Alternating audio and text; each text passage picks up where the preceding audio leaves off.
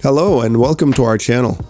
In this tutorial you will learn how to customize your Safari start page and background. Safari in iOS 15 got a pretty big redesign. It now lets you customize the start page to better suit your needs. Open Safari and tap on the tabs icon. Open a new tab and scroll down and tap Edit. Here you have various options to choose from. Favorites shows the pages bookmarked as favorite. Frequently visited shows the websites you visited frequently throughout the day. Privacy report shows how Safari has protected your browsing across all the websites you visited. Click the report for more details.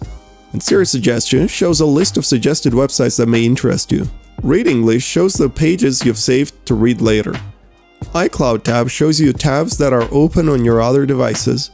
And Background Image offers a curated gallery of images to choose from, and the option to add your own. Scroll right to see more or click the plus button to choose your own image.